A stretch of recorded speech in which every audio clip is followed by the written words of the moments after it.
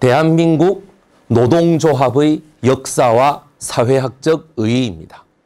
제가 어, 강사로서 생활한 19살 때부터 강사를 시작했으니까 한 28년 정도 했습니다, 지금. 28년 정도. 왜 이렇게 다들 뭐 아니 19살 때부터 강사쯤이야 개나 소나 다 하는 건가요? 19살 때부터 강사해 별거 아니네 뭐 이렇게 생각하시는 겁니까? 여러분들 주변에도 그런 분들 많이 계신가요? 제가 강사 생활을 하면서 만난 강사 중에 19살 때부터 강사 시작한 사람은 단 한 사람도 없습니다. 왜? 난 강사 안 하면 굶어 죽을 팔자거든요. 아시겠죠? 어. 그게 여러분 강사를 네가 왜 했니? 라고 얘기하면 저는 딱 이유가 하나밖에 없습니다. 최저시급보다 높게 받을 수 있는 유일한 직업이다 이렇게 생각했거든. 어. 한 시간의 강의를 하면 최저시급보다 높게 받을 수 있는 유일한 직업이다. 그리고 어떻게 돼? 직업을 가지면서 또 뭐, 뭔가 하나 또 있었어요. 아이고, 선생님 안녕하세요. 라는 소리를 들을 수 있습니다. 어쨌든. 그렇지 않겠습니까? 어, 말로라도. 그렇죠? 예. 그래서 처음에 19살 첫 강의 하러 갔을 때 이렇게 덜덜덜덜 떨었던 생각이 납니다. 이렇게. 어. 이렇게 막 여기가 막 이렇게 이렇게 이렇게 떨릴 정도로 여러분 이저이 카메라 이게 잡히는지 모르는데 이렇게 떨었던 기억이 납니다. 어, 첫 번째 강의가 무슨 그거였어. 중학생들한테 하는 강의였어요. 중학생들한테. 중학생한테는 할 수 있잖아요. 19살짜리. 그죠? 예. 노동조합의 역사와 사회학적의 제가 알기로 이거를 약 70분의 시간 동안 이런 어떤 그 인증받은 단체에서 강의하는 거는 제가 한국 역사상 처음입니다. 여러분들.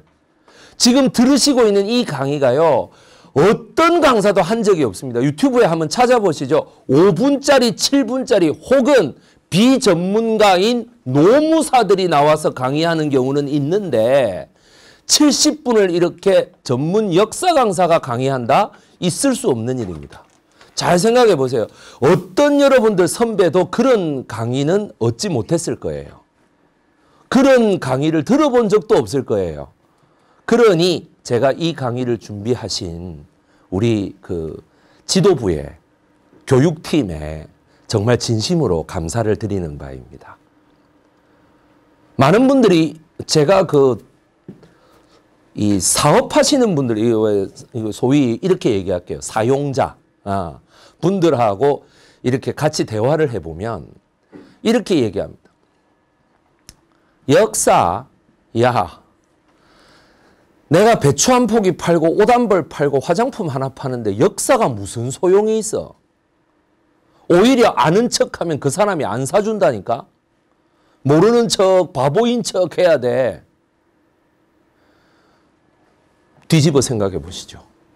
많은 분들이 이렇게 생각합니다. 내가 노동자로서 생활을 하는데 하루하루 벌어먹고 살기도 바빠 죽겠고 힘들어 죽겠구면 역사가 무슨 소용이 있노? 여러분들 그런 생각 해보신 적 없어요? 역사라는 거는 어디 어디에 입사하거나 시험을 통과할 때 객관식 시험에서 어떻게 하면 많이 맞추느냐에 따라 갖고 그걸로 끝. 아시겠습니까? 그걸로 끝. 그때 배운 지식으로 그냥 평생 가는 거야. 제가 이렇게 하면 여쭤보겠습니다. 4차 산업혁명에 관련된 거는 1년도 지나면 구기술 되는데 왜 역사는 22, 3살에 배운 걸로 끝나서 65세 죽을 때까지 갑니까? 그죠? 그럼 또 혹자는 이렇게 얘기하죠. 뭐냐면 아무리 세월이 지나도 세종대왕이 한글을 창제했다는 게 연산군이 한글을 창제했다는 걸로 바뀌지는 않잖아. 역사가 한글을 창제한 게 누군지 알면 되지 우리가 무슨 역사학과 교수할 일이 있어 뭐하러 그렇게 알아? 라고 생각을 하십니다.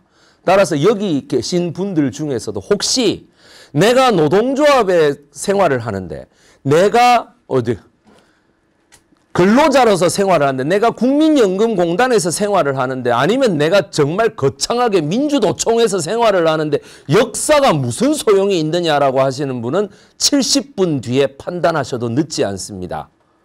아시겠죠? 예, 1910년대부터 1930년대까지 서양을 주름 잡았던 학문 중에 헤르멘노이틱스라는 게 있어요. 해석학이라는 게 있습니다. 해석학. 그 해석학의 세계적인 거장이었던 에드문드 후설이라는 사람이 다음과 같이 얘기합니다. 어떤 것을 시작할 때 반드시 그것에 대한 prejudice, 선입견을 중지시키고 공부를 시작하라라고 얘기를 합니다. 쟤는 원래 저래 이런 거 있잖아요. 얘는 필요 없어 이런 게 아니고 어떻게 돼? 선입견을 중지 이거를 뭐라고 얘기하면 에포케라고 얘기합니다. 판단 보류 이 말이죠. 아시겠죠?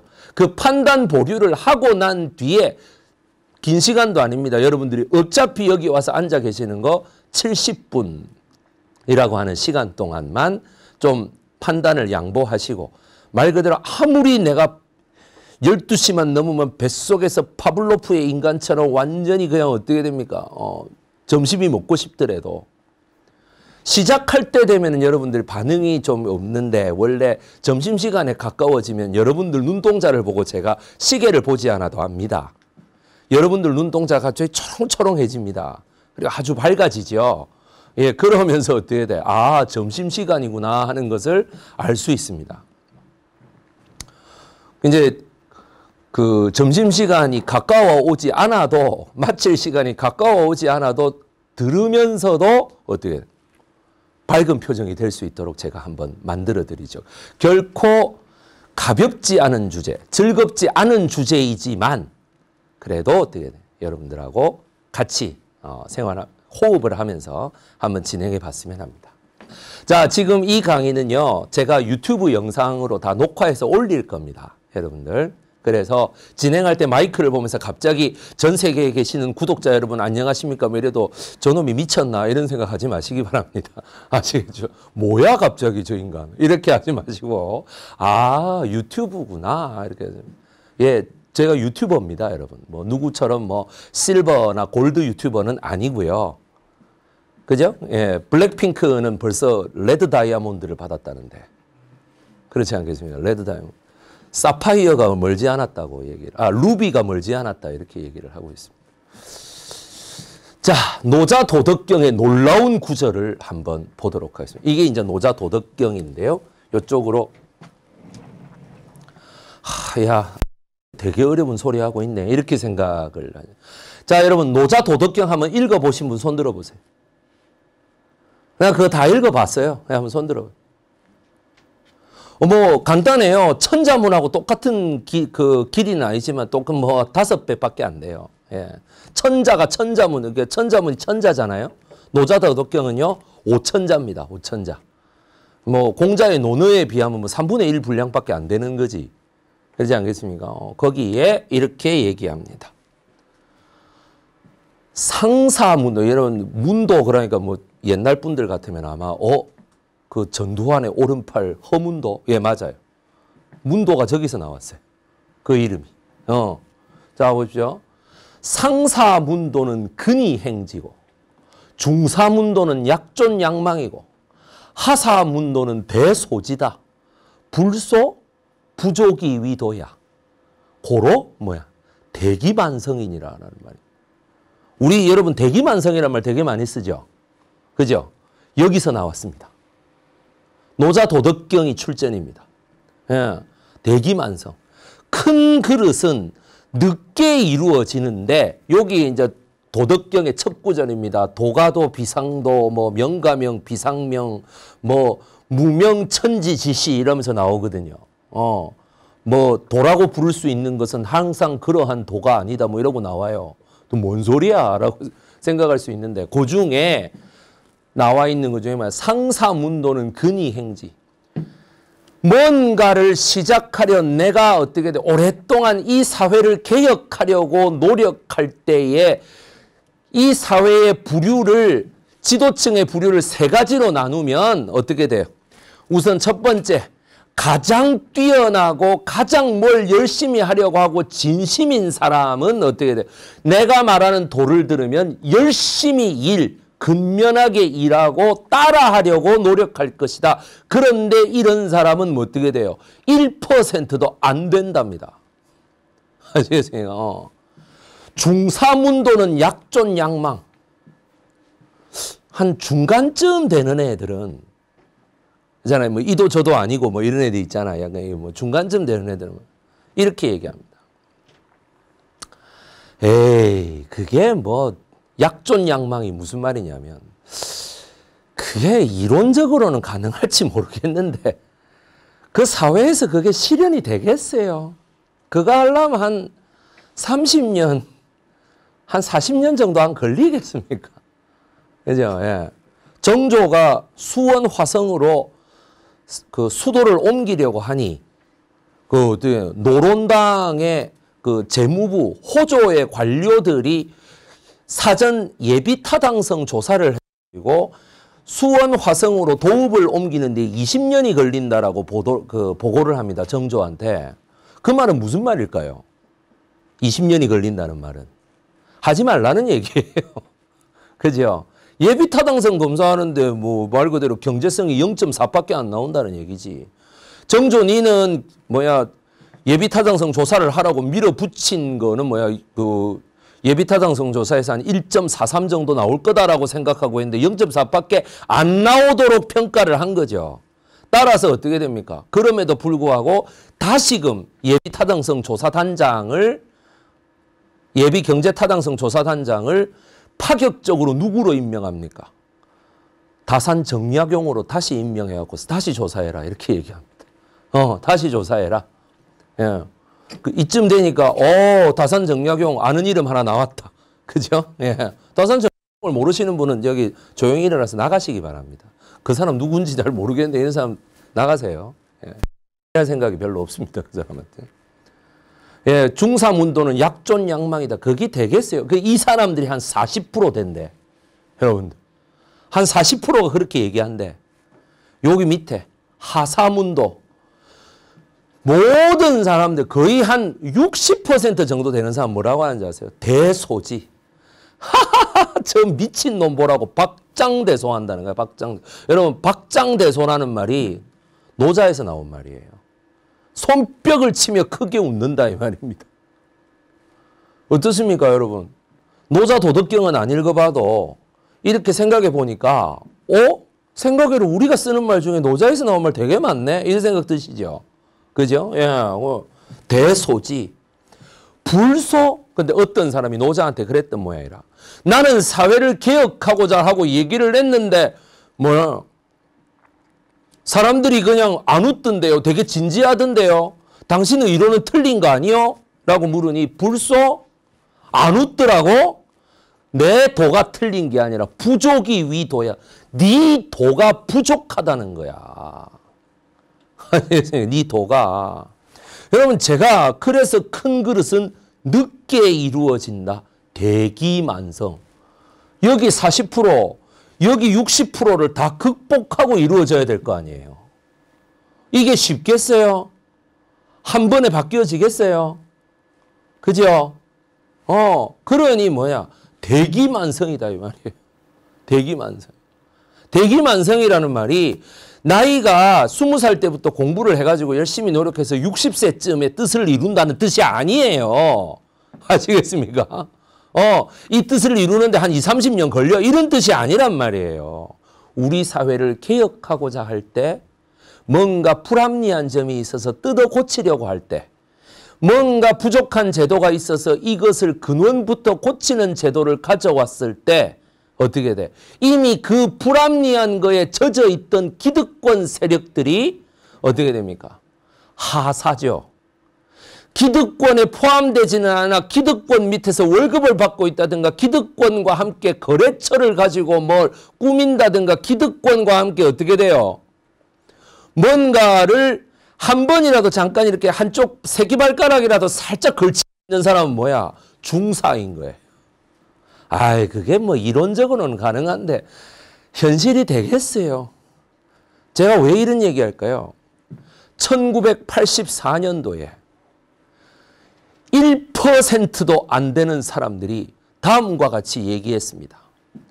그 어떤 직업에 종사하든 제조업이든 서비스업이든 경비직이든 뭐든 그때 당시로서는 알바라고밖에 불리지 않았던 영어로 정신이 얘기한 파트타임 잡이든 간에 무조건 시간당으로 계산해서 이 사회가 임금을 결정하면 어떨까요?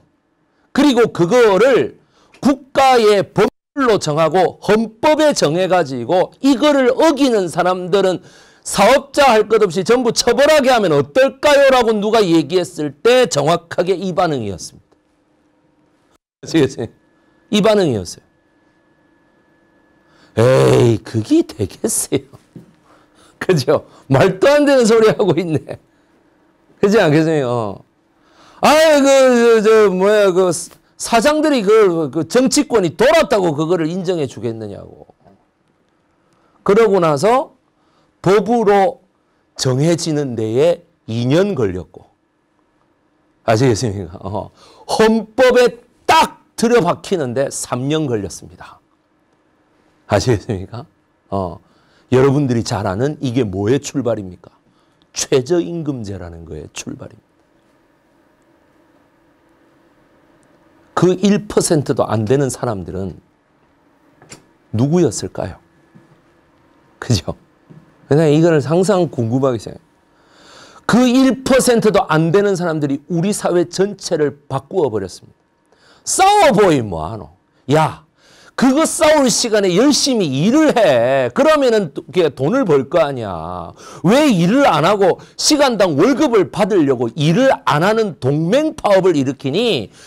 또 뭐야? 니 혼자 일 안 하면 그뿐이지. 왜 남을 끼어들여 가지고 선동질을 해? 그거를 우리가 세 글자로 뭐라 그래요? 어른들 잘 쓰는 말 있잖아.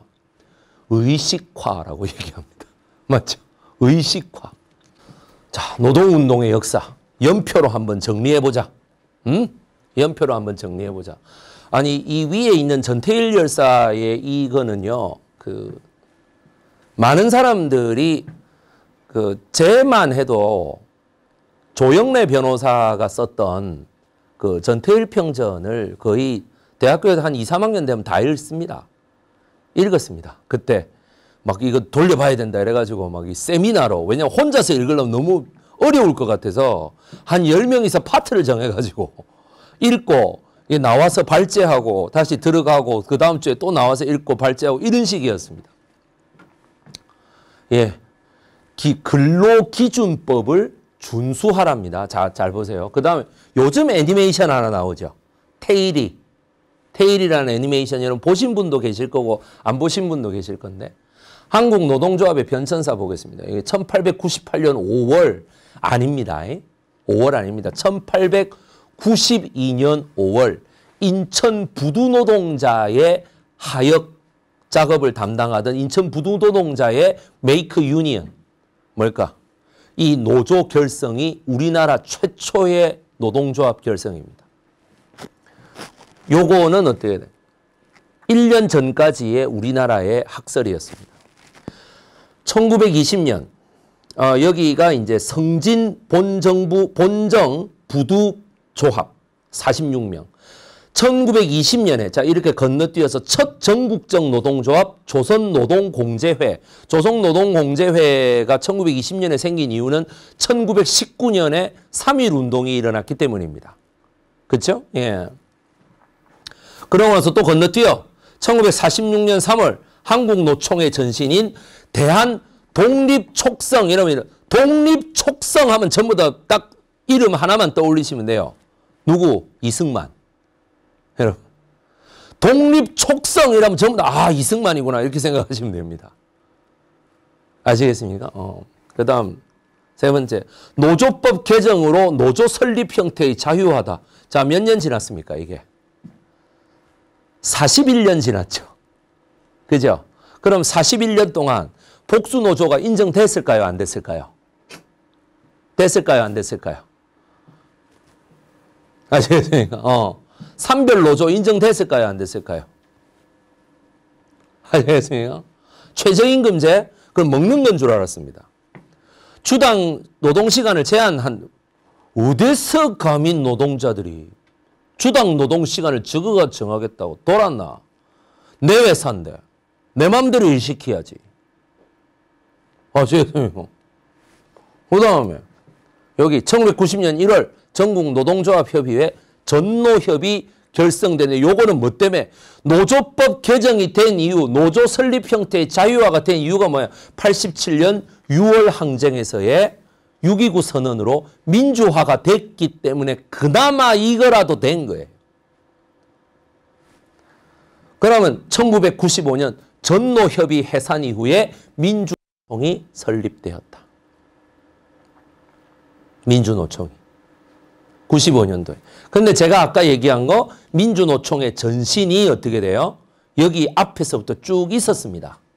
그래서 최저임금제를 그때부터 도입하기를 했던 것이죠. 그게 뭐야? 서울노동연합 서노련이라는 거예요. 서노련. 울산 노련도 있었고요. 부산에도 있었고요. 있었습니다. 인천 노련도 있었고. 87년 이전에 아까 84년에 누가 얘기했다고 했는데 87년 이전에 이게 어떤 대접을 받았을까요? 어떤 대접을? 빨갱이로 대접받았겠죠. 그죠? 왜? 복수노조를 금지했으니까. 그런 거 아니겠습니까? 음. 2019년 11월 한국노총 산하 삼성전자 노조가 공식 출범했는데 한국노총 산하잖아요. 그죠? 무노조 경영이긴 한데 한국노총 산하잖아요. 자, LG전자 사무직 노조 설립. 여기 계시는 분 제가 한 분 아는 분이 있습니다. 어. 그다음 현대차 사무 연구직 노조 설립. 이게 왜, 왜 이렇게 막뭐 노조 설립 이런 걸 이렇게 할까요? 재벌들이 우리나라의 대표적인 기업 형태인 재벌들은 그 뭐야 노조를 만드는 걸 좋아할까요? 싫어할까요? 당연히 싫어하지. 아니 한국 노총이 있는데 뭐 하려고 또 만들어 이렇게 되는 거 아니겠습니까? 복수 노조를 설립하기를 해놓고 자유롭게 노조를 설립할 수 있게 해놓고 산업별로 노조를 설립할 수 있게 해놓고 한 산업별 안에도 두 개, 세 개의 노동조합이 설립될 수 있게끔 해놓고 심지어는 공무원마저도 전국 공무원 노동조합이 있고 어떻게 돼? 제가 영상홍보 자문위원으로 있는 국가공무원 노동조합이라는 게 또 있단 말이야. 그죠? 이런 걸 좋아하겠어요? 사용자들이? 말도 안 되는 소리죠. 그죠? 여러분 사용자라는 말은 무슨 말입니까? 사용자와 노동자로 나눌 수 있으면 사용자는 뭘 사용하기 때문에 사용자인 거예요? 노동을 사용하는 거죠.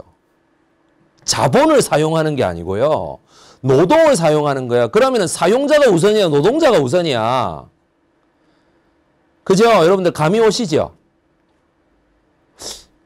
어, 그, 보통 이 정도 내가 탁 얘기하면 사용자가 우선이야, 노동자가 우선이야. 그럼 저쪽에서 노동자요. 뭐 이런 말 한 사람 나오거든.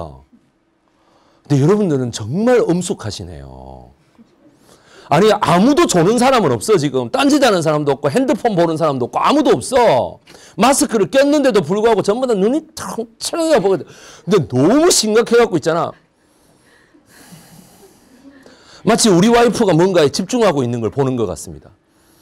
이렇게 하는 거 있잖아. 무서워 내가 앞에 있으니까.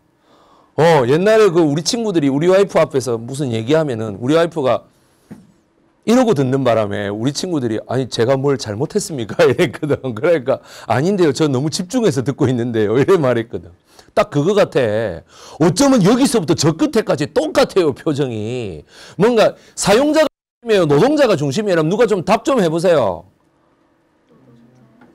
노동자. 노동자요. 이게 아니고 노동자요. 무슨 뭐 방랑자여도 아니고 그 노래 모릅니까 여러분? 방랑자여 모르라요. 방랑자. 눈물을 거둬. 아, 죄송합니다. 너무 제 세대의 노래를 불러가지고. 박인희라고 옛날에 가수가 있었습니다. 방랑자여라는. 본드 말이죠 vagabond. 예, 방랑자여.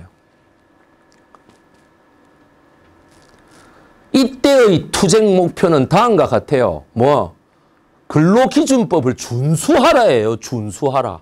1971년에 전태일 열사가 온몸에 불을 지르고 11월 달에 그렇게 분신한 이유는 근로기준법이 없으니 만들어라가 아니고요. 있는 법을 제발 좀 지켜다오 이 말입니다. 제발 좀 있는 법을 좀 지켜줘요. 두 가지 요구 사항이 있었죠. 제발 있는 법을 좀 지켜달라라는 거. 두 번째가 뭐야? 내가 노동을 하느라 노동할 시간이 없어서 어떻게 돼? 학교를 제대로 못 다녀 놓으니까 국한문 혼용체로 쓰여 있는 법전을 도저히 읽기가 너무 힘들어서 밤이면 밤마다 울었다. 내 여기 황학동 평화시장 바로 버스 정거장 두 정거장만 가면은 서울대학교 물리대 지금 방송통신대학교 있잖아요. 서울대학교 물리대가 있는데 저기에는 천재들만 모인다는데 저기에 있는 학생들 딱 한 명이라도 친구가 있으면 좋겠는데 그러면 토를 막 달아주고 해설도 해주고 할 것 같은데 우리는 뭐야? 버스 정거장 두 개가 뭐야? 한 다리 건너가 천리라는 거야. 전태일 열사 하는 말이. 나에게 대학생 친구가 딱 한 명만 있으면 좋겠는데 그 유서를 보고 헷가닥 돌아버린 사람들이 몇 명 있었잖아요. 세상에 이럴 수가 우리가 바로 지척에 있는 어떻게 돼? 우리 사회의 약자들의 절절한 호소, 자기 몸에 신나를 끼얹고 불을 얹어야 될 정도로 절절한 호소를 우리가 옆에서 듣지 못하자니 아무리 등잔 밑이 어두워도 그렇지. 그렇지 않겠습니까? 그래서 헷가닥 돌아쁜 게 누구예요? 김근태, 조영래, 손학규 세 명 아닙니까? 그죠? 어. 맞죠? 조, 그 조영래 변호사, 김근태 씨는 다 이제 고인이 되셨네요. 손학규 씨만 살아계시네요. 그죠? 네. 요거를 어, 조금 말을 안 들어서 제가 자 1987년도 10월 달에 10월 29일 날 국민투표에 붙여졌던 제6공화국 헌법 87년 6월 29일 날 노태우라는 인간이 나와가지고 했던 말 갑자기 텔레비전에 나와가지고 했던 말 뭐예요? 대통령 직선제로의 국민적 열망을 받아들이지 그 다음 뭐야? 받아들이겠습니다가 아니고 뭐예요?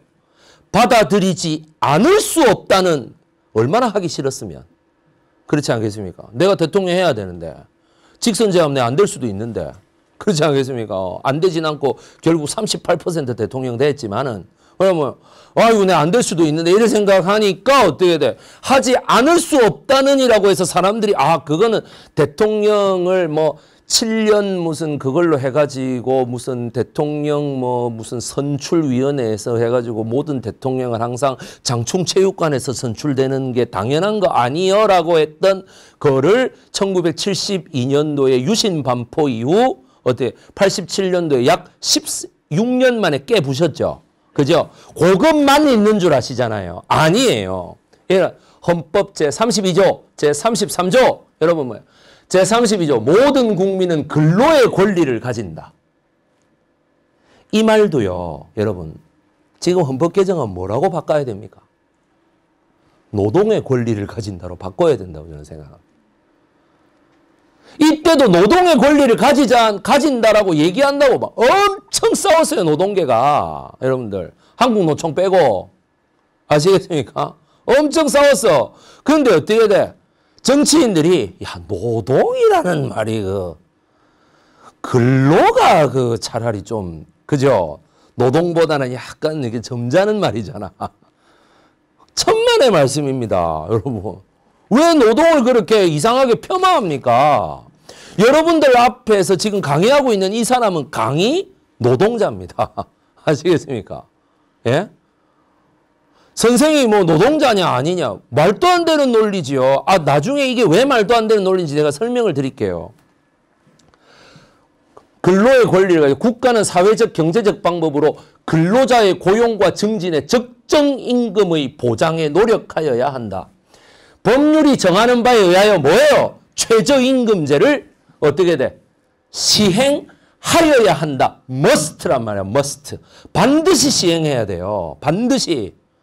최저임금은 철폐될 수 있는 게 아닙니다. 탄력적 운용할 수 있는 것도 아니고 아시겠습니까? 어.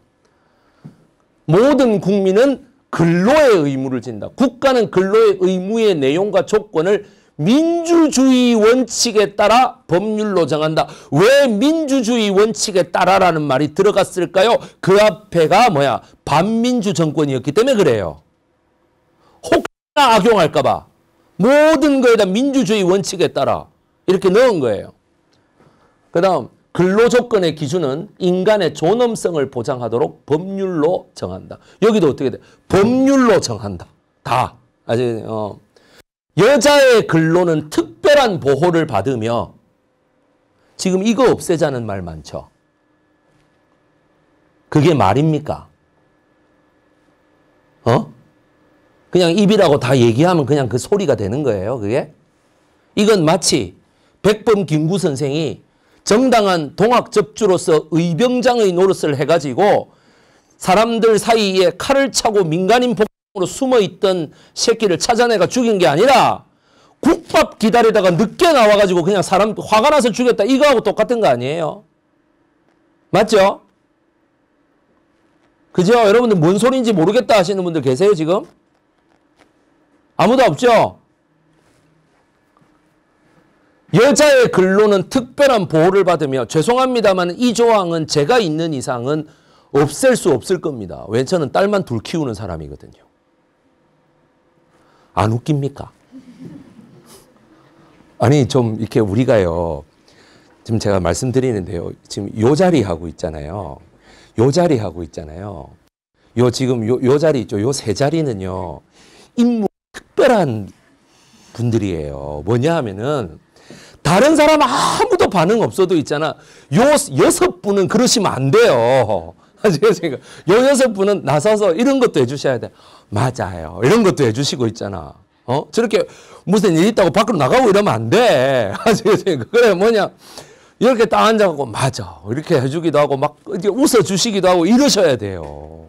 요 세, 여섯 분은 졸, 된다니까. 아니, 졸, 졸았다는 얘기가 아니고, 이 여섯 분 표정이 있다. 그러니까 여섯 분이 잘해주시면 강사가 더욱 힘이 나고요.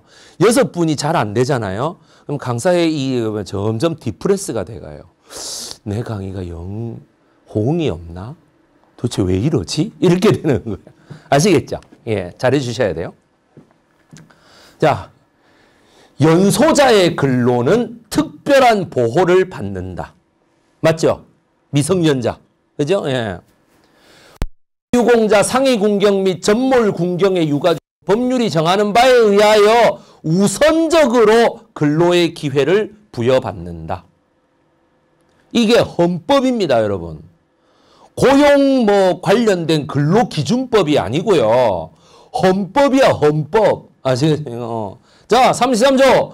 근로자는 근로 조건의 향상을 위하여 아시겠어요? 자주적인 단결권 및 단체 교섭권 및 단체 행동권을 가진다. 자, 보겠습니다. 33조 1항.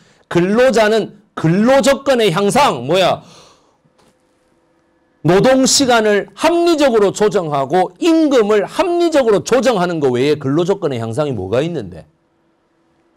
탕비실에 얼마나 과자를 많이 갖다 놓나 이런 게 근로조건의 향상이에요? 어? 우리 탕비실은 반드시 몽쉐를 갖다 놔야 된다 뭐 이런 거야? 아, 좀 제발 웃으세요, 여러분들. 아, 나 강사로서 너무 힘들다, 정말. 선과장님 안 웃기십니까? 예, 웃, 웃기는데 마스크 안에서 웃고 계시는 거죠? 예. 아는 사람이, 예, 아는 사람이 저분이어서 제가 한번 얘기를 해봤어요. 자주적인이라고 돼 있잖아. 자주적인. 뭐야?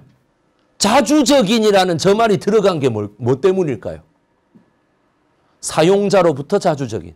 공공기관으로부터 자유적인, 자주적인, 즉 뭐야? 어용노조 안 된다 이 말이에요. 어용노조 안 된다고. 아시겠습니까? 저 말이 왜 들어갔냐는 거야. 왜 말이. 그래서 어떻게 돼? 단결권. 단결권을 했으니까 어떻게 돼? 근로조건의 향상을 위하여 단체 교섭을 해야죠. 그죠? 왜? 우리는 을이니까. 계약서상의 사용자는 갑이고 우리는 을이잖아. 그러니까 어떻게 돼?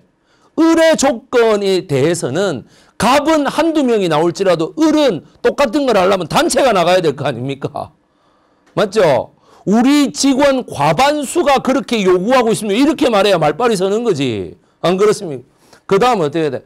단체 행동권을 가진다라는 거예요. 따라서 가장 불행한 고용자가 누구일까요? 가장 불행한 노동자 누구일까요?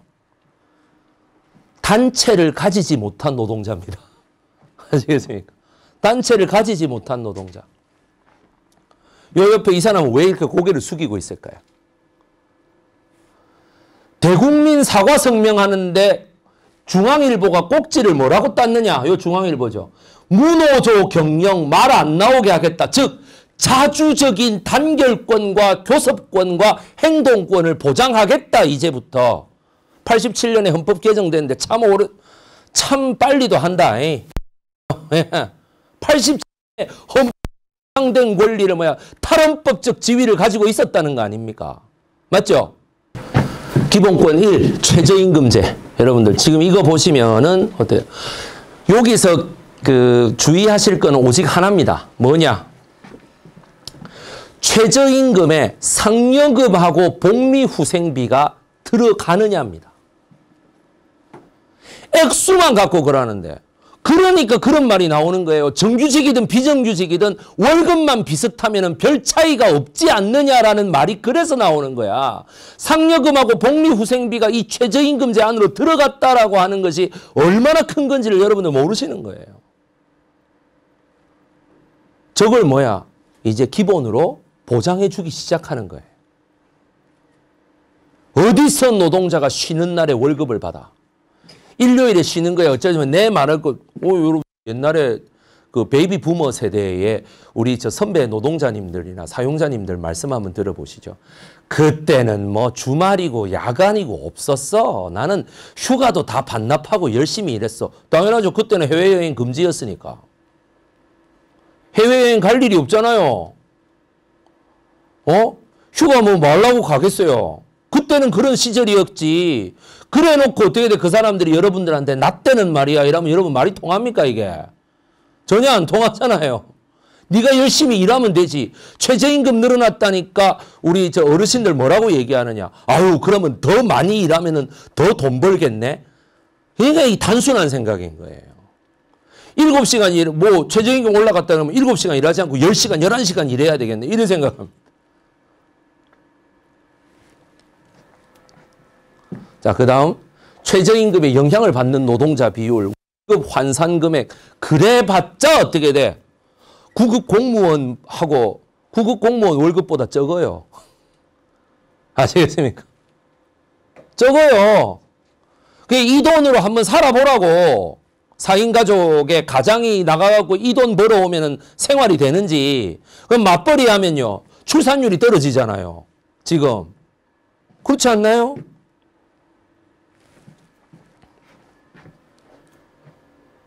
예, 다음 거 넘겨주죠. 다음 거, 예. 기본권 2, 뭐예요? 주당 노동 시간. 이 주당 노동 시간의 이 뭐야, 기본 의의가 뭘까요? 빨리 집에 가게 해서 저녁이 있는 삶을 만든다도 좋은데, 우리 한국적인 6, 70년대를 생각할 때 뭐야, 뭐가 딱 필요해요? 무조건 뭐야, 휴일을 보장하느냐 안 하느냐입니다. 그 휴일도 뭐예요? 유급으로 보장하느냐 돈을 안 주는 걸로 보장하느냐라는 개념입니다. 사용자 입장에서는 당연히 어떻게 돼? 돈을 안 주는 게 좋겠죠.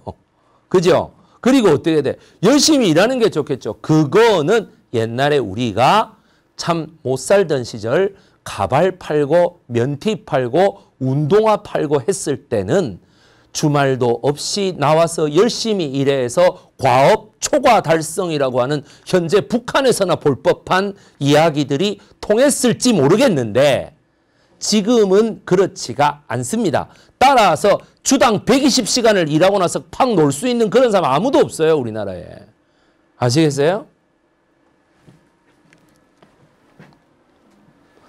OECD별 국가별 연간 근로시간 제조업이라면 전 세계에서 어디가 제일 뛰어납니까?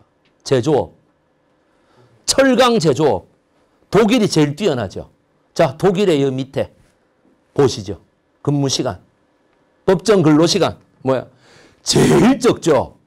그래서 독일의 학자가 우리나라에 와서 GDP 세계 8위의 대국인데 근로 시간이 몇 시간이냐? 52시간이라니까 어떻게 돼? 작년에 그 독일 학자가 이렇게 했습니다. 그래가지고 어떻게 아니 성인병이 전 세계에서 2위 당연하지라고 얘기했습니다. 그 학자가. 아시겠어요? 아니 그렇게 근로 시간을 많이 가져가는데 어떻게 세계적으로 성인병이 발생을 안 할 수가 있노? 그죠? 어. 한때 우리나라 뭐지였어? 세계 1위였어 성인병. 교통사고도 1위였어요. 아시겠습니까? 휴일을 근로일로 보느냐 안 보느냐. 그리고 어떻게 돼? 그거를 근로일로 봐, 봤기 때문에 돈을 집어넣는 유급 휴일이 된 거라고. 다음 넘어가요. 자, 이제 한번 보도록 하겠습니다. 1986년 12월 31일 이거 일어나기 전에 최저임금제가 법률적으로 도입되기 전에 85년도 2월 달에 무슨 일이 있었습니까?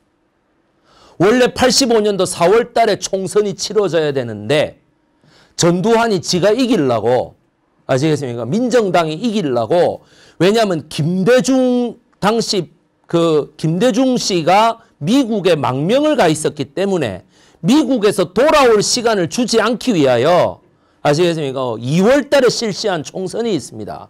이 2월 달에 돌아올 시간을 안 주고 그래서 김영삼도 어떻게 됐어? 가택연금 시켜버리고 이랬어요. 자기가 이기려고. 그렇게 해서 시행했는데 국민들이 용서하지 않았다. 85년도에 신민당 돌풍을 일으키면서 어떻게 돼요? 신민당이 제1야당으로 치고 올라가게 됩니다. 어용야당들 말 그대로 자주적으로 여당에 저항하는 야당, 야당이 아니라 어용야당이라는 게 그때 있었어요. 어용야당, 전두환이 만든 야당, 방법적으로 반대표 던지라고 만장일치 나오면 부끄럽잖아. 반대표 던지라고 야당을 하나 만들어 놨어. 그 어용야당을 제끼고 국민들이 그걸 일야당으로 만들어 주니까 어떻게 돼? 저기에서 제일 먼저 도입하자고 민정당 의원들하고 대판 싸운 게 바로 뭐야? 최저임금제입니다. 이게 민주주의입니다, 여러분. 최저임금제. 그래서 86년 12월 31일에 87, 그 87년 6월 항쟁 일어나기도 전에 86년 12월 31일에 최저임금제가 법률안으로 통과됩니다. 끝까지 버티다가 결국에 어떻게 돼요? 어, 쪽수에서 밀려가지고 된단 말이에요. 그러고 나서 어떻게 되나? 헌법에도 이 10월 29일 날저 32조, 33조가 명확하게 박히면서 어떻게 이 사람들이 뭐냐? 그냥 아무 말도 안 하고 가만히 내 할 일만 열심히 하면 사회가 바뀝니까? 바뀝니까? 그렇게 돼서 다 좋게 좋게만 갈 것 같으면 백이성 강사는 뭐 때문에 여기 와가지고 아침부터 이렇게 열받으면서 침 튀기면서 마치 말이지 이걸 내가 어디 가서 영웅적으로 얘기하면 피토하듯이 얘기했다 안 하겠나 그죠? 그죠? 왜 이거를 하며 그리고 여기에서만 했으면 됐지 어떻게 이거를 논리적으로 전 세계인이 볼 수 있는 유튜브 영상으로 왜 올리겠다고 지금 저렇게 찍고 있는 거예요. 맞죠? 한 명이라도 보고 87년 지금 뭐 34년 전에 제정됐던 헌법의 의미를 되새기라는 거예요. 다음.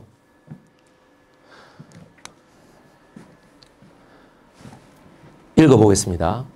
우리 사만 철도 종업원은 우리 철도가 또다시 어느 제국주의의 압박과 착취와 침략의 무기가 되게 함이 아니라 조국의 민주화와 독립과 부강의 무기가 되게 하기 위하여 참다 못하여 총파업에 들어간다. 쌀 두 말값의 월급과 강냉이 죽으로 연명하여 그뿐만 아니라 미국에 의존해서 국내 생산을 충멸시키고 종업원의 대량 해고 감원까지 착착 진행하는 데 있어서 우리는 20만의 가족의 생명을 구하기 위하여 단연 파업으로서 무성의한 당국자의 반성을 촉구하기로 했다. 파업은 파괴가 아니다. 우리들의 요구는 정당하고 건설적이라는 것을 알아주시기 바란다. 누가 쓴 글일까요? 철도 노동자가 쓴 것 같지? 여러분 이게 바로 46년 9월 1946년 9월 철도 노조의 총파업 때 선언문입니다. 뭐 지금 얼마나 달라져 있는데 여러분 지금 저희 얼마나 달라져 있는데 여러분들 어? 어. 그래 뭐야 9월 총파업에 수십만의 노동자가 결집 10월 인민항쟁으로 번졌던 배경에 46년 10월에 인민항쟁으로 번졌는데 이거에 쫄지 마세요. 46년 10월 인민항쟁은 어디에서 벌어졌는가? 대구에서 벌어집니다. 대구에서 벌어질 때 여러분 46년 10월 인민항쟁을 주도했던 사람 누굽니까? 총대장. 거기서 죽었죠. 누굽니까? 박상희. 박상희의 셋째 동생 누구야? 박정희예요. 아시겠습니까? 어? 어. 그래서 요 파업을 주동했던 단체 1945년 전평이라고 하는 단체입니다. 전국 노동조합 평의회 전평이라고 합니다. 1945년도 8월 15일에 일본이 항복을 하고 나자 일본인이 운영하던 모든 공장이 정지되고 일본인 모든 사람들이 어떻게 돼? 다 일본으로 도망가거나 직업을 잃거나 이렇게 했습니다. 따라서 거기에서 월급 받고 살아가던 노동자들은 순식간에 어떻게 돼? 다 실업자가 돼버린 거예요. 그죠? 그럼 그 다 실업자가 돼버린 사람들의 권익을 보호하기 위하여 어떻게 하면 공장을 다시 돌릴 수 있는가? 여러분들 공장에 가서 요새는 작업반장들이 이렇게 띡 버튼을 누르고 하는지 모르겠는데 옛날에는 그게 다 누가 했습니까? 절대로 노동자들한테 이거 못 믿는다 이래가 사장이 직접 가가지고 맨 첫 번째 발 사장이 돌렸습니다. 사장이 돌리고 거기에 따라서 노동자들이 일하는 거예요. 아시겠죠? 그러면 어떻게 될까? 지금 이 발전기를 넣어주던 이 비밀 코드를 알고 있던 열쇠를 가지고 있던 사람들이 다 나가버렸잖아요. 그럼 노동자들은 어떻게 노동을 시작합니까? 어디서 월급을 받습니까? 그죠? 예, 그래서 나섰던 것이 자신의 권리를 주장하는 전평이고 따라서 상대방은 결국 누가 될 수밖에 없어요. 하지 중장이 이끄는 미군정이 될 수밖에 없죠. 그러니 미군정에서는 이거를 노동자의 권리를 인정하지 않고 어떻게 얘기하나요? 이것들 싹 다 빨갱이다 이렇게 몰아붙인 거예요. 여기에 부안해동하여 움직인 것이 누구? 누구? 아까 독립촉성 뭐 있잖아. 촉성회. 그 사람 누구일까? 위원장 이승만입니다. 여러분. 그것이 지금 뭐의 모태가 돼 있어요? 한국 노총의 모태가 돼 있는 거예요. 아시겠어요? 그죠? 이승만이 자기가 해서 어떻게 돼? 자기가 대통령이 됐잖아. 그럼 뭐야? 오용노조 아닙니까? 여러분들. 아시겠습니까? 어. 연도별 그럼 봐라. 노조하면 안 좋다던데 노조하면 나쁘다던데 이러면 노조 결성률이 떨어져야죠. 노조 결성률 보세요. 높아지죠? 여기 2019년까지. 맞죠? 가파르게 우상향 그래프 아닙니까? 그죠? 예. 다음 거 넘겨주시죠. 1892년 5월, 1898년 5월. 하필이면 그렇게 5월에 왜? 5월 제 생일, 아, 죄송합니다. 제 생일하고 똑같습니다. 5월 1일, 바로 메이데이가 되겠습니다. 노동자의 날. 그죠? 예, 노동자의 날. 어떻게, 1892년 5월 인천의 부두 노동자 조합이 처음으로 파업을 일으킵니다. 상대방은 누구? 일본 제국주의의 뭐예요? 사업자들, 쌀 수탈업자들. 그 다음에 1898년 이번에는 저번에는 서해안이었으면 이번에 동해 함경남도 성진시에서 성진 본정 노동자 부두 노동자 조합이 출범합니다. 뭐는 관건은 뭐냐? 심해항의 건설이에요. 심해항. 자, 여러분 보십시오. 여기에 부두가 있으면 어떻게 돼? 부두 밑에를 깊이 파야 돼요. 바다 밑을. 그래야 대형 선박이 들어올 거 아닙니까? 기존에는 뭐야? 뭐 어선만 들어오고 돛담배 들어오고 이런 거겠지. 그래야 되겠어요. 근대화가 됐다는 건 뭐겠습니까? 이 밑에 깊이 부두를 파서 거기를 콘크리트로 준설을 해야 돼. 그거를 심해항.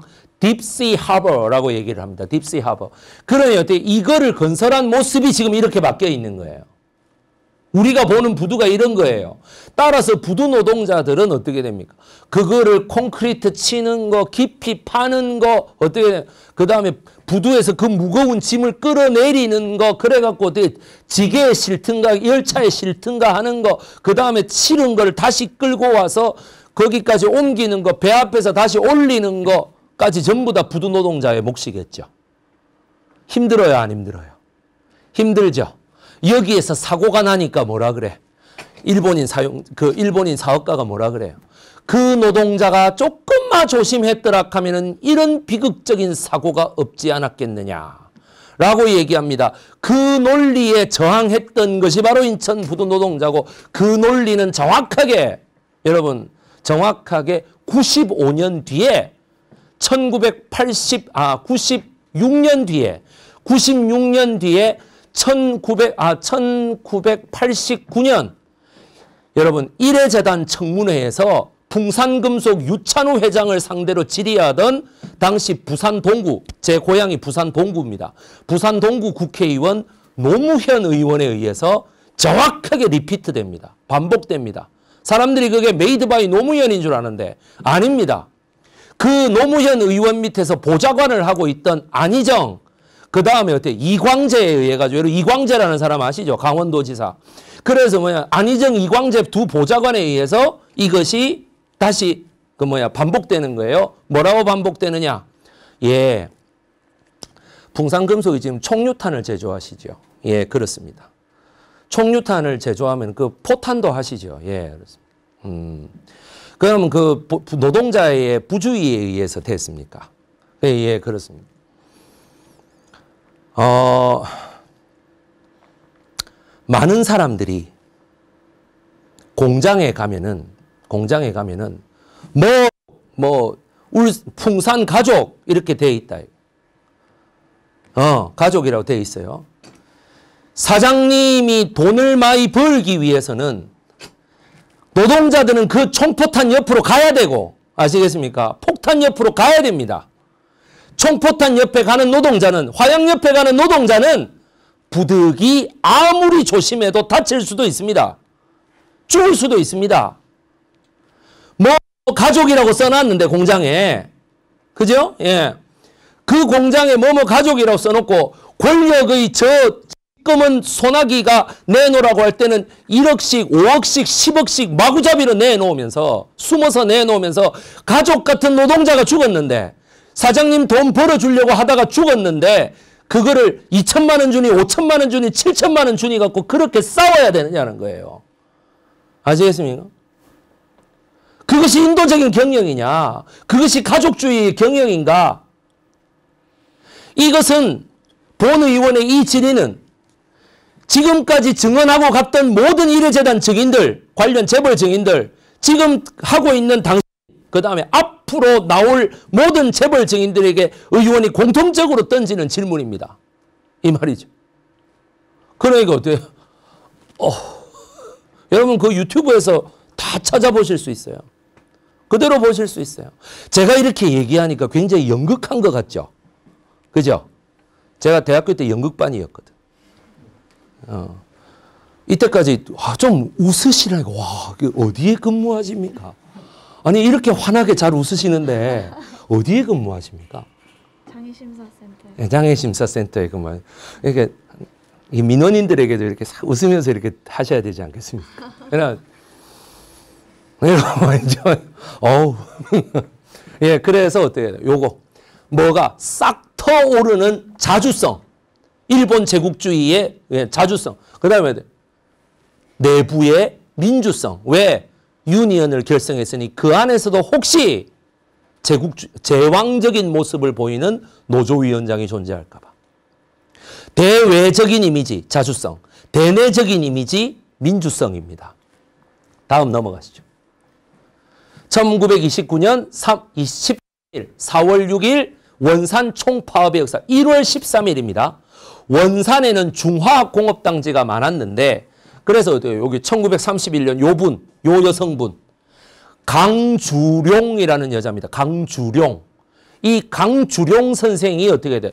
12m 높이의 평양 을밀대에 올라갑니다. 평원 고무농장 노동자들에게 임금이 제대로 주어지지 않는다 이러면서 올라가십니다. 1901년에 출생하셔갖고 이때도 어떻게 고공농성을 하다가 끌어내려져서 끌어내려져서 어떻게 돼? 54일 동안 단식 투쟁을 하다가 돌아가십니다.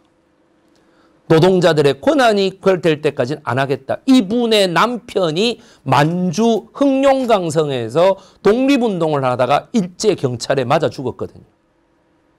그래서 어떻게 그 시댁에서 뭐라고 하느냐면 남편 잡아묵은 뭐 여자라고 뭐 죄송합니다. 뭐욕 나올 뻔했습니다. 아 근데 진짜 욕을 그렇게 했답니다. 남편 잡아먹은 X 이렇게 어 욕을 할 수는 없고 그래 이제 뭐 그렇게 해서 이제 평양으로 평원군 평양 바로 위에 있는 평원군으로 와서 이 강주룡이라는 분이 했다. 그래서 여기는 원산 총파업입니다. 영국 회사, 영국 석유 회사의 어떻게 돼? 일본인 작업 관리원이 너무나 너무나 이 악행을 저지르고 조선 노동자를 맨날 구박하니 거기에서 어떻게 돼? 달라들었던 거예요. 원산 총파업이 시작됩니다. 이거는 우리나라 역사 교과서에 거의 안 나오죠. 그죠? 아, 이 백이 제가 읽어라고 지금 이렇게 샤를 식스 케이스 그죠? 예. 아이고 이렇게 제가 그 백이 하도 이렇게 저 그거 하셔서 제가 아침에 이제 여러분 살짝 어, 잠이 오시는 거예요. 아유 오후 1시 강이면은 잠이 오는데 그건 제가 식곤증이니까 11시 강의에서 이렇게 해서 저희 제가 다가가 봤습니다. 예. 아마 자다가 아마 굉장히 그 부끄럽고 당황스러우실 겁니다. 예. 그래 원산 노동 연합회라고 적혀 있죠. 여기. 그죠? 예. 여기 참 그 그래서 이 원산 노동 총파업에 대해서 잘 안 가르칩니다. 이거 승리로 끝난 투쟁이거든요. 어, 요구 조건을 상당히 받아들여 줬습니다. 그런데 어떻게 돼요? 교육을 안 시킵니다. 아시겠습니까? 여러분 학교에서 노동 교육을 해야 된다는 게 이런 거를 가르쳐야 된다는 얘기예요. 왜 안 가르치는 이유가 뭘까? 그런 일은 없는 일이야 라고 했는데 이게 이상한 나비 효과를 일으켜요. 원산 노동조합에서 저렇게 내가 도저히 살 수가 없어가지고 싱가폴로 간 우리나라 노동자가 하나 있었습니다.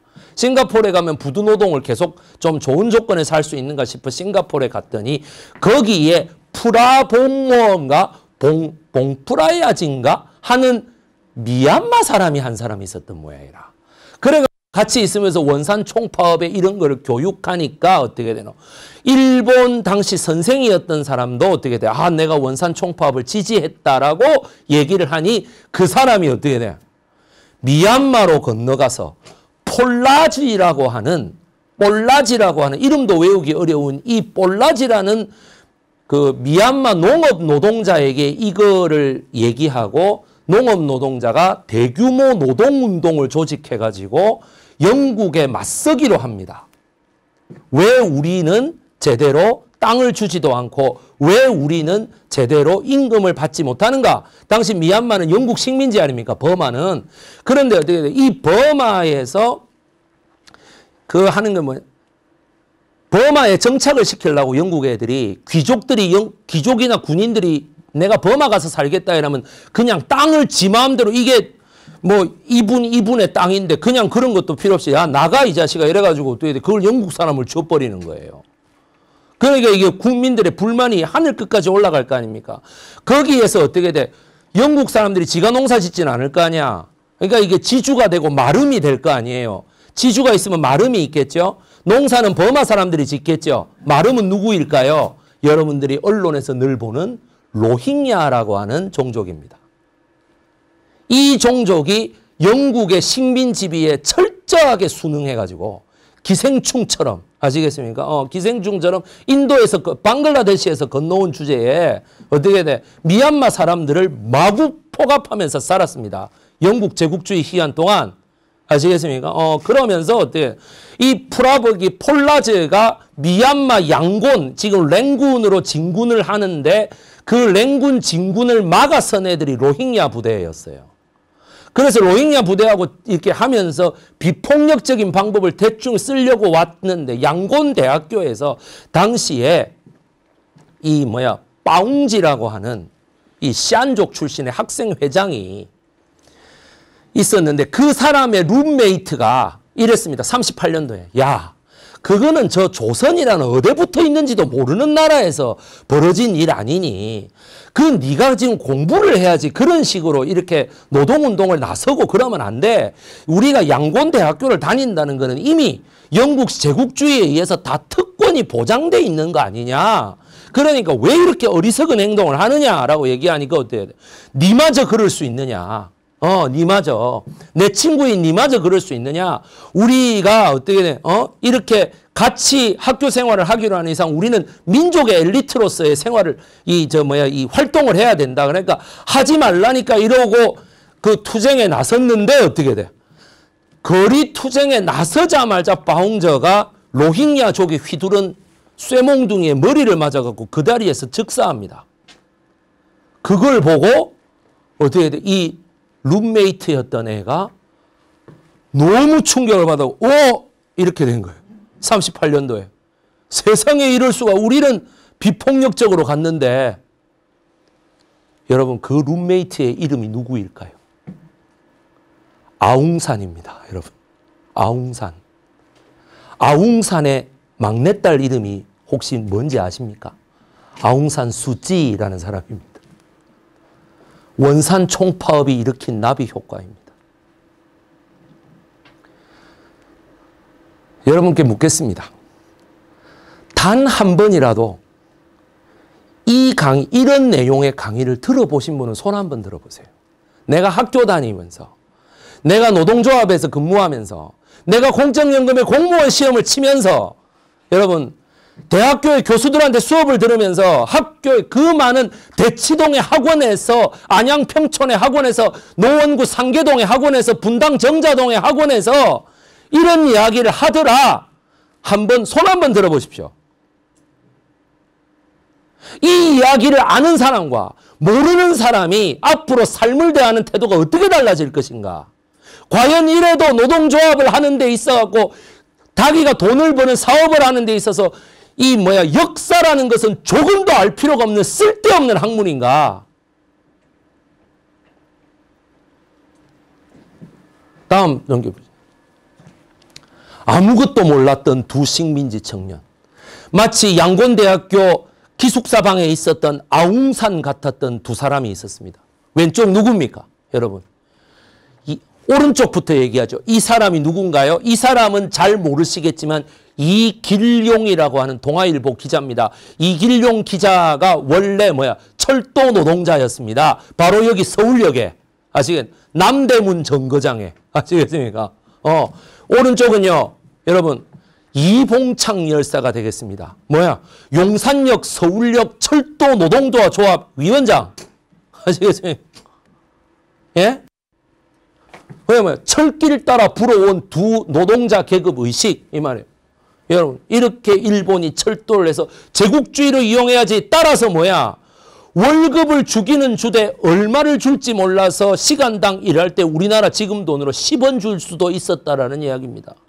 그러니 어떻게 돼요? 이래서는 안 되겠다. 도저히 안 되겠다 해서 어떻게 돼요?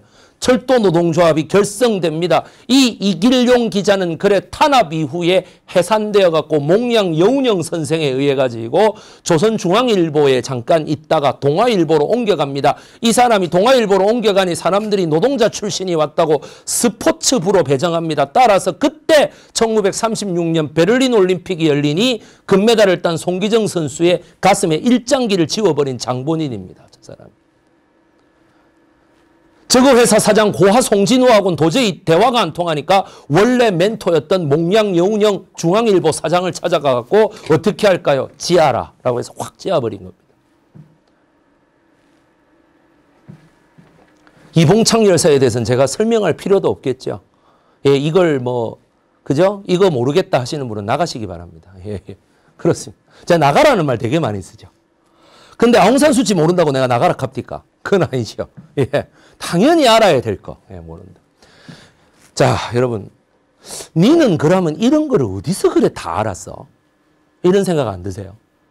야, 그 원래 역사 전공하면 니 정도 다 아냐? 아닙니다. 알게 되는 이유가 있습니다. 제가 강의 사상 처음으로 여러분께 왜 이 강의를 하게 될지 몰랐으니까. 여기 책이 하나 있죠. 식민지 시대 사회운동론 연구. 그죠? 뭔가 왠지 백이성 강사가 방금 설명했던 모든 게 다 저 책에 있을 것 같다는 생각 안 드세요? 그죠? 여러분, 그런 생각 드시죠? 예. 이 책의 저자, 여기 뭐라고 되어 있습니까? 배성찬 편역. 제 이름이 뭐죠? 나는 백이성 선생이거든요. 뭔가 좀 안 느껴지세요? 어, 이거 뭐, 어? 배성찬은 필명입니다. 팬네임입니다. 본명은요. 배, 동자, 문자. 우리 아버지의 막내 동생입니다. 우리 삼촌입니다. 그 삼촌이 바로 1984년도 저 책을 집필하기 시작하면서 헌법투쟁, 헌법과 법률로 최저임금제와 그 노동자 단체 교섭권을 보장해야 한다라고 하는 그 아까 얘기했던 상사 1%에서 싸웠던 사람입니다. 제발 역사적인 연구를 통해 노동조합 사람들이 이 모든 것을 알게 되기를 저희 삼촌이 그 마음에서 저 책을 썼습니다. 그런데 아쉽게도 89년도에 출판됐고요. 어, 지금 현재는 여러분 절판됐습니다. 절판된 지 한 20년 됐습니다. 아쉬운 일입니다. MZ세대 여러분은 저런 책 읽을 필요가 없습니까? 있죠? 나는 지금 이 책을 읽은 저는 여기 와가지고 이렇게 강의하는데 사람들 놀래버리잖아. 와, 그런 일이. 그렇지 않겠습니까? 세상의 아웅산 수치를 바라보는 시각이 좀 여러분 틀려지지 않으, 않으시겠어요? 그죠? 엄마야. 저거 아버지가 원래 그런 사람이었단다. 다음. 자, 요새 이런 사람들 많죠? 보십시오. 사회에서 노조를 설립하면 고용자, 노동자를 고용해 준 사업자에 대한 배신이다. 진화 대우 잘해주라 그래. 자, 제가 고등학교를 다닐 때 고교 시절에 정치 경제 선생님이요 있었어요. 이 선생님이 그때 제가 고등학교를 다니는데 90 몇 년도요? 제가 91년도죠. 고등학교. 91년도에 고등학교 1학년 때가 고등학교 2학년 때인가 보다. 92년도에 제가 저 식민지 시대 사회활동론 연구에 대해서 삼촌으로부터 맨날 설명을 들었을 거 아니에요. 읽어보지는 않았지만. 그래서 내를 보고 우리나라 경제 발전을 위해서 뭐 어떻게 해야 되냐고 3분단 처음부터 끝까지 한번 얘기해봐. 그러니까 애들이 몰라요. 뭐 이렇게 대답했을 거 아닙니까? 아무 생각이 없는데요. 생각 안 해봤는데요. 그러니까 내가 삼촌한테 들은 대로 얘기를 한 거예요. 최저임금제가 활성화돼야 된다. 그 선생님이 한 말. 노조를 설립하자는 얘기 같은데 그거는 사, 자기 불쌍한 노동자를 고용해 준 사업자에 대한 배신이래. 그딴 것도 선생이라고 학교에서 가르쳤어요. 학생들을. 너희들은 전부 사업자가 되지 노동자가 될 생각하지 말라고. 그거는 굉장히 잘못된 노동에 대한 인식입니다. 두 번째, 노조는 좌파다. 북한의 지령을 받아서 움직이는 스파이 단체다. 내가 말이 좋아 스파이지. 저기 첩이라고 내 참았어요. 여러분 그런 얘기 들어보신 적 없어요? 많을걸? 그는 왜? 1946년도 아까 9월 총파업 때에 전평에 대한 미군정의 탄압이 잘못됐기 때문입니다. 거기서부터 그 논리가 전해져 왔기 때문이에요. 세 번째, 노조에 가입할 경우 상상할 수 있는 모든 불이익을 줄 것이다. 내 회사는 내 사유재산이니 내 마음대로 해야 자유민주주의다. 근데 죄송한데요. 당신 마음대로 못하는 게 우리나라 헌법이야. 아시겠습니까? 헌법에 저런 조항이 있는 걸 몰라요. 그래서 뭐야? 우리나라는 헌법 시험을 안 쳐, 사람들한테. 헌법 교육을 안 해. 아시겠습니까? 그 다음, 노조에 가입할 수 있는 경우 상상할 없는 권한을 다 주겠다. 제가 교생 실습하러 갔더니 교장 선생님이라 하는 사람이 떡 나와가지고 여러분 우리 학교는 자랑스러운 학교입니다. 뭔 자랑스러운 학교? 우리 학교는 전교조가 아무도 없습니다. 그게 자랑입니까? 지금요 여러분 노무사들 강의 들어보세요. 네가 노조에 가입하면은 저쪽 원격지로 파견 내 보내겠다. 인사상의 불이익을 주겠다. 좌천될 수 있다. 잘릴 수 있다라는 말을 하면 뭐야? 불법입니다. 그 법에 정해져 있습니다. 두 번째, 전 고용 그 피고용자, 즉 노동자들을 다 모아놓고 어떻게 돼요? 사장이 모여서 자 여러분 노동자들은 절대로 노조를 만들어서는 안 되고 뭐 이렇게 한마디로 쭉 이렇게 말했다고 생각해봐요. 불법입니다. 아시겠습니까? 내 회사니까 내 마음대로 하겠다. 천만의 말씀이에요. 아시겠죠? 인사조치는 사용자가 노동자에게 하는 가장 강력한 도구다. 강력한 도구다. 참네. 산업 현장에서 일어나는 모든 재해는 현장 노동자들의 부주의로 발생한 것이다. 최근에도 이런 말 하나 있었지.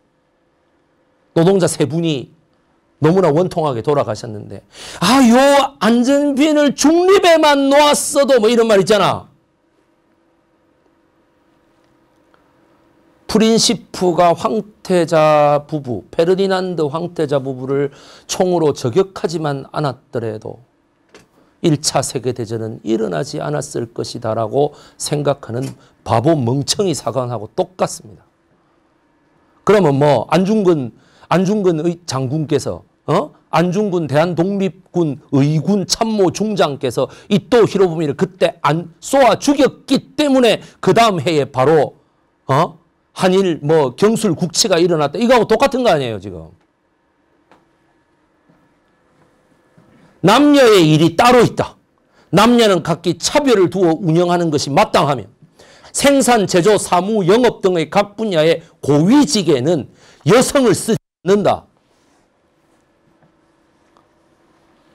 예전에 그 2016년도에 제가 국회에 있을 때 당시 김, 김종덕이라는 사람이 문화부 장관이었는데 문화부가 업무 보고한다고 이렇게 쫙 고위 공무원들 4급 이상이 전부 다 서기관부터 해가 부이사관, 이사관, 관리관, 차관 뭐 이래가 쫙 들어와가 앉아 있는데 그거를 보고 어떤 여자 국회의원이 이럽니다.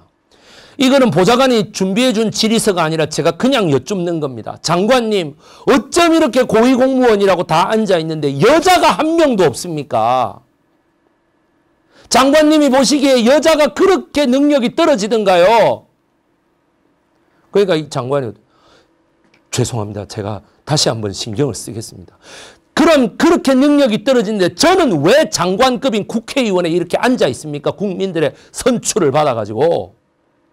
나 그거 진짜 최고의 질이라고 봐요. 말 그대로 장관을 꼼짝 못하게 만들어버리는 거죠. 아까 헌법에 뭐라고 되어 있던가? 여성의 근로는 특별하게 보호한다라고 되어 있지 않습니까? 왜 반헌법적으로 자꾸 얘기하는 거예요? 그 다음 바람직한 노동 근로자는 야근, 특근, 주말 근무, 휴가 등을 모두 자발적으로 반납하고 오로지 사용자의 이해관계에 충실하게 따라주는 게 최고다. 그런 말 하는 사람 있습니까? 없습니까? 많죠? 많아요. 지금도 많아요, 여러분들. 그러니까 뭐야 대선 후보한테 최저임금제하고 주 52시간 그거 좀 탄력적으로 유용할 수 있게 해달라 그러고 그래가지고 정치인이라는 사람이 앉아가지고 뭐라 그래 여러분 뭐라 그래 현실에 맞지 않는다 그럼 현실에 안 맞는다고 헌법을 바꿔요 헌법이 바뀐 지가 이제 34년 동안 우리나라 사람들이 거기에 맞춰서 생활을 바꿔왔는데 아직까지 안 바뀐 자기네들이 멍청한 거지 안 그렇습니까? 오늘 이 강의를 하고 있는 시간이 12월 10일입니다. 여러분, 12월 10일입니다. 12월 10일 날, 지금으로부터 시계를 5년 전으로 거꾸로 돌려서 5년 전 12월 10일, 제가 잘렸습니다. 저를 보고 저를 고용했던 사람이 이렇게 말했습니다. 국회의원인데요. 국회의원이 네가 너무 무식해서 네가 너무 능력이 없어서 내가 더 이상 부끄러워서 니를 쓸 수가 없다라고 얘기를 했습니다. 지금 그 표정이 해고의 부당함을 말해주고 있는 거 맞죠? 말도 안 돼. 이 말 아닙니까? 표정이 이러셨거든. 네, 그러셨거든. 맞죠? 어, 저분의 표정에서 모든 걸. 그래서 우리 마누라가 갔습니다. 남편을 좀 잘 부탁한다. 그러지 마시라고. 왜? 당신의 사정에 의해서 잘랐다고 해야지 뭐라고 처리했죠? 저거 마음대로 의원 면직.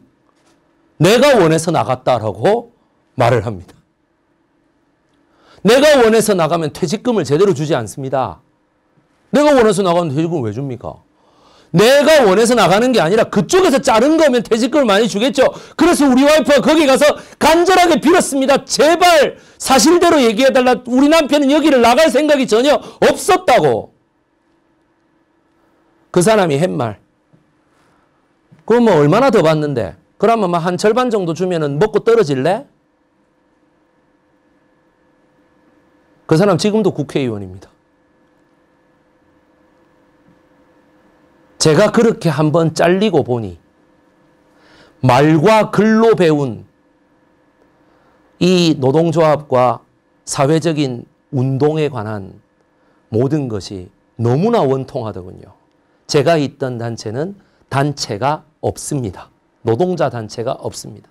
따라서 아무리 불합리한 경우를 당해도 어떻게 돼요? 호소할 곳이 없습니다. 나를 대신해서 싸워줄 단체가 없습니다. 대등하게. 아시겠습니까? 그래서 여자 국회의원이 지 마음대로 7급 운전비서를 잘라도 어디다 호소할 데가 없는 거예요. 아시겠습니까? 그 사람이 근무를 잘했든 못했든 일단 한 노동자의 해고라고 하는 것에 대해서 무대를 주고 거기에 대한 명확한 해명과 서로가 알아들을 수 있는 것으로 해야 되는데 그게 아니고 내 마음에 안 들면 아무 핑계나 대서 잘라버리는 거예요. 그러고 와서 자존심이 있어가지고 뭐야? 의원 면직이래. 해고가 아니라. 12월 10일. 제가 전혀 기도하지는 않았지만 기획하지는 않았지만 오늘 이 강의를 할 수 있게 된 것에 대해서 12월 10일 제가 그렇게 아침에 여러분 보세요. 아침에 딱 나가갖고 의욕적으로 일하다 오후 3시에 잘렸거든요. 그럼 아침 오늘 여러분 페북에 왜 뭐 뭐 몇 년 전 추억 이런 거 뜨잖아. 그래서 그러더라고. 국회에서 제가 이렇게 셀카 찍은 거 아주 즐거워하면 셀카 찍은 게 뜨더라고. 근데 그날이 가장 슬픈 날이었어요. 예. 나도 강사가 아닌 다른 직업에도 한번 종사할 수 있다. 내 능력을 보여줘야지 했는데 실패했습니다. 그러니 얼마나 제가 가슴이 아팠을까요? 얼마나 우리 와이프가 가슴이 아팠을까요? 여러분들 모두 이렇게 생각하십시오. 생명보험은 그 사람이 아직 살아있을 때 죽은, 죽고 난 뒤를 가정하여 일어나지 않는 리스크를 뭐야? 담보하는, 해지하는 겁니다. 내가 죽고 없더라도 가장이 소득이 있는 가장이 내가 죽고 없더라도 내 유가족들에게 내가 살아있는 거에 약 80% 내지 90%의 소득 보전율로 어떻게 돼요? 월급을 계속 주는 겁니다. 연금보험이라는 것은 내가 아직까지 젊었을 때에 그죠? 예. 늙은 뒤를 생각할 때 혹시 내가 병이 었을 때 충분한 생활이 안 될 경우에는 어떻게 그거에 대해서 미리 돈을 적립해 놓았다가 소득 대체율 80% 90%로 월급을 주는 것입니다. 저는 국민연금도 마찬가지 개념이라고 생각합니다. 실비보험은요. 실비보험은 내가 아직 건강할 때 병이 안 생겼을 때 사소한 증세든 병이 생기면 중한 증세까지 전부 다 입원 수당까지 받는다. 입원 수당이라고 하는 게 최저임금에 있어서 노는 사람도 근로수당으로 산입시키는 저것이 도입되지 않았다면 있을 수 없는 일이에요. 여러분들. 안 그렇습니까? 그 다음에 여러분 보십시오. 연금보험, 지금 실비보험, 그 다음에 뭐 됐어요? 생명보험까지 다 했죠. 노조는 왜 있을까요? 내가 잘리고 불합리한 일을 아직은 당하지 않았지만 내가 언젠가 당할 것을 대비하여 조합비를 내 가지고 이 유사시에 나를 대신해서 싸워줄 단체라고 하는 것을 만들어 놓고 안전판을 걸어 놓는 거예요. 맞죠? 안전에 대한 투자는 원래 경기가 어려우면 안전에 대해 원래 뭐 여러분 경제가 어려우면 보험부터 끊잖아요. 안 그렇습니까? 그건 왜 당장 일어나지 않으니까 나중에 다시 가입해도 되니까 그죠? 어, 자동차 보험도 사고는 아직 안 났지만 사고가 날 때를 대비해서 들어두는 거 아니겠습니까? 그럼 왜? 돈 나가는데 당장 사고 안 일어나는데 자동차 보험도 하지 말지. 안 그렇습니까? 그죠? 실비보험은 왜 사람들이 많이 들려 그래요? 자꾸 아프거든요, 사람들이. 아프고 다치거든. 그러니까 뭐야, 약값도 9천 원만 넘으면 탈 수 있고, 병원비도 할 수 있고, 가, 가다 입원하면 어떻게 돼? 할 수 있는데. 그래갖고 사람들이 그렇게 얘기한다? 괜히 의사한테 막 떼쓰는 사람도 있어요. 내 입원 시켜달라고. 아시겠지? 자기 입원 좀 시켜달라고. 그래서 어떻게 돼? 의사들이 이건 아닙니다. 그래도 어떻게 돼? 아이, 못 믿겠다고 막. 왜 그렇게 말할 정도예요. 노조가 왜 있어야 하는가? 다음 넘겨주시죠. 아이고. 자, 여러분. 조금만은 보세요. 자본주의란 상품 화폐 경제를 매개로 한 임노동 생산 체계다. 임노동 생산 체계다. 뭐야? 임금을 받는 사람들은 전부 다 뭐예요? 노동자입니다. 제가 지금 이 강의를 하고 나서 임금을 받죠. 이건 노동자입니다. 뭘 교사가 노동자? 교사는 그럼 월급 안 받아요. 받잖아요. 교사가 노동자라고. 아시겠습니까? 그러니 나도 선생 자격증 다 있어요. 노동자예요. 자본주의는 공공기관과 사용자 그리고 노동자로 사회를 구성한다. 뭐 이견이 있으면 얘기하십시오. 인간에게 공동체란 생존의 필수 요소이다. 동물의 왕국을 보십시오. 태어난 지 다섯 시간이 지나도록 일어서지 못하고 일어서자마자 바로 뛰어요. 여러분들. 바로 달려요. 새끼들이. 늑대가 지는 공격 안 해? 그럼 바로 달리죠. 톰슨 가젤 같은 거 보세요, 여러분. 자, 제가 아기를 둘 키워보니까 하나는 큰 애가 지금 아홉 살이고 둘째가 여섯 살이거든. 키워보니 정확하게 느끼겠더라. 안 키워봐도 알겠지만. 애가 여섯 살인 애는 지금도 자기 혼자서 뭘 못해요. 근데 그게 이상한 게 아니고 당연한 거예요. 세 살이 될 때도 못해요. 더 못하겠죠. 태어나서는요. 못하죠. 그러니 어떻게 돼? 생존을 위해서는 인간은 반드시 공동체를 구성할 수밖에 없습니다. 그렇죠? 그 공동체를 구성할 수밖에 없다는 건 어디에 나와? 유발 하라리 여러분들 잘 아는 머리 벗겨진 애 있잖아. 그 내하고 동갑. 걔가 내하고 동갑이에요. 늙어 보여서 그렇지. 유발 하라리라는 그 유대인 애가 하는 말 뭐? 인간이 공동체인 이유 호모 사피엔스라는 책의 한 줄 요약이에요. 인간에게 공동체는 생존의 필수다. 왜? 모든 사용자는 갑으로 계약을 하고 노동자는 을이라고 계약하는데 이 계약서의 명칭을 가진다라고 돼 있습니다. 계약서의 명칭을 가질 뿐이지 갑이 갑질할 권리는 어디에도 없습니다. 아시겠습니까? 지원 초등학교, 중학교, 고등학교, 대학교에서 이 개념을 조금이라도 발전시키면서 처음에는 쉬운 것부터 그 다음 어려운 것까지 배우는 거에 여러분 반대하십니까?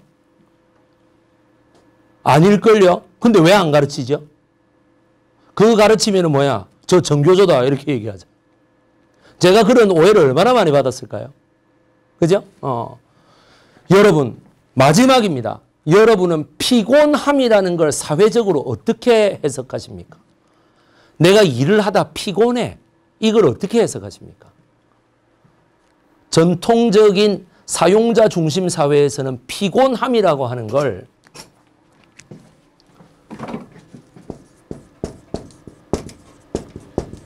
이게 뭐 영어로 얘기하면 퍼티그 뭐 이렇게 얘기하잖아요. 어, 피곤함이라고 하는 걸 우리가 어떻게 해석합니까? 이걸. 일하다가 이제 좀 쉬어야 된다라는 상태로 해석합니까? 그래서 뭐야? 고기까지만 생각하면은 옛날 작업 반장들의 어디서 쉬는 게 나와? 이것들이 빠져가지고 우리 때는 휴일도 없어. 뭐 이런 거 있잖아. 맞죠? 옛날에 구로공단 가산 디지털 단지 이런 데 생각해 보세요. 피곤함을 어떻게 해석합니까? 피곤함을. 자 이렇게 보십시오. 피곤함. 요거를 전 세계적인 철학자인 알프레드 노스 화이트헤드라는 케임브리지 대학교 총장이 있었습니다. 그 사람 제자가 여러분 잘 알려진 버트랜드 러셀이라는 철학자예요. 러셀의 제자가 또 누구예요? 루트비 비트겐슈타인이라고 하는 오스트리아 철학자입니다. 그 외에 고등학교 2학년 때 히틀러하고 한반에 짝지였다는 애 있잖아요. 그래 걔가 유태인이어갖고 히틀러가 그렇게 유태인에 대해서 막 그 안 좋은 생각을 가지게 됐다며 걔가 너무 저 왜 전국 1등이어갖고 그래서 왜 선생한테 진짜 그렇게 물었대잖아. 이거 아십니까? 어, 안 해. 이래갖고 막 히틀러가 재수없어 하고 막 이랬다며. 어, 이거 진짜예요, 여러분들. 그래서 뭐야, 비트겐슈타인 이 피곤함이 화이트헤드가 뭐라고 얘기하느냐. 어떤 일을 하고자 하는데, 어떤 일을 하고자 하는데 어떻게 돼요? 그 일을 하는 데 있어서 그 일이 너무 고차원적이고 힘든 일이어서 그 힘든 일을 하는 데 있어 갖고 어떻게 돼요? 한꺼번에 하기에는 체력적으로 부담스러우니 잠깐 쉬었다가 다시 이 생산 목표를 향해서 달려가는 상태를 피곤함이라고 정의하기 시작합니다. 여러분, 이거 이전에는 최저임금제라는 것도 없었고, 주당 노동시간 제한이라는 것도 없었고, 아무것도 없었습니다. 무조건 기계처럼 막 일하는 거였습니다. 아직 일 하나 막 채찍으로 때리고, 저 철학자가 저렇게 얘기함으로써 어떻게 돼? 아, 더 높은 생산 목표를 달성하기 위해서는 어때? 50분 일하고 10분 쉬게 해줘야 되겠구나라는 게 처음 들어온 거예요. 그게 여러분 언제? 1910년도. 아시겠습니까? 미국하고 영국에서. 어, 그래야 되는구나. 라고. 이 피곤함이라고 하는 것이 뭐야? 게을러 터진 사람들의 욕구가 아니라 뭐죠? 생산을 더 많이 하기 위하여 잠깐 쉬어가는 단계. 그래서 어떻게 돼? 더 현실적으로 잘 뻗어나가기 위한 어떻게 됩니까? 잠깐 휴식 단계. 그때부터 영국에서 유행했던 말 뭐야? 이보 전진을 위한 일보 후퇴라는 말이 되게 유행했습니다. 인간의 역사는 이런 식으로 노동 조건을 조금씩 조금씩 변화시키면서 노동자와 사용자가 거의 동등한 위치에까지 오르도록 헌법에 보장되기까지 하는 1905년 알프레드 노스 화이트헤드의 The Function of Reason 이성의 기능이라고 이걸 공학도들이 Function of Reason이라는 그 이유의 함수 이렇게 얘기하는데 그게 아니고 인문학적으로 뭐야 이성의 기능이라고 하는 거에서 이성이라고 하는 것은 어떻게 돼? 치고 올라오는 욕구고 이성에 반대되는 건 뭐야? 쉬고자 하는 욕구라는 거예요. 이때까지는 이성에 반대되는 욕구는 무조건 때려잡았던 역사라면 이제부터는 뭐야? 이성에 반대되는 것을 어느 정도 허용해 주어야만 아시겠습니까? 이성의 이 생산 목표를 달성하려고 하는 이성이 더욱 발전할 수 있다라는 논리로 1905년 처음 시작된 것이 공휴일을 주는 것은 보다 나은 근로 조건을 주는 것이고 그 더 나아가서 공휴일도 최저, 일할 때의 최저임금하고 똑같이 계산하여 노동자들에게 지급하여야만 노동 효율이 더 오른다라고 하는 양식으로 발전했다라고 하는 것.